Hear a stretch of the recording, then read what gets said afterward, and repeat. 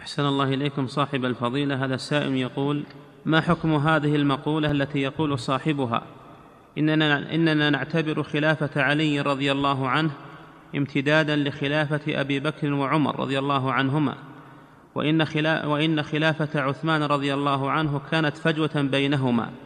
وهل هذا يعتبر إنكار لخلافة عثمان؟ تنقص. هذا يعتبر تنقص لخلافة عثمان وطعن على الصحابة. الذين أجمعوا على تقديمه في الخلافة. هذا طعن على الصحابة وتنقص لخلافة عثمان رضي الله عنه. نعم.